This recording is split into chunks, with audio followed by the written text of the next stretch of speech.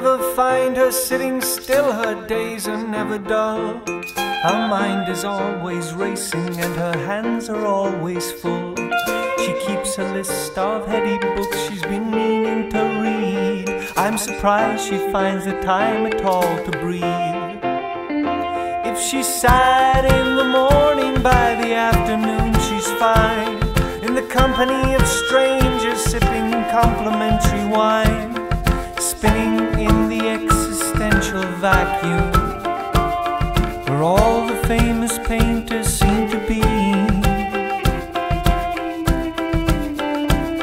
The overwhelming sense that she's completely lost at sea is shattering the image that she wants the world to see.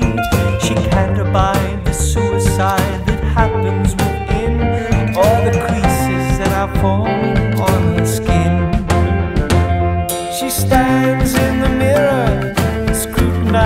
lines, cursing her condition and the debt she owes to time, spinning in the existential vacuum, trying to find a meaning